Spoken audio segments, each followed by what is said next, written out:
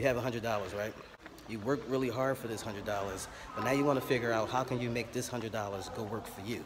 Real estate is definitely a great way that you can take a measly $100 and turn it into $10,000 quickly. You can also invest it into currencies, trading currencies.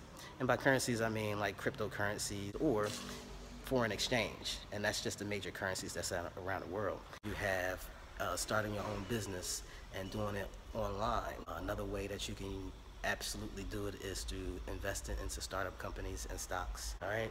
So those are ways that you can do it. You have to really start somewhere.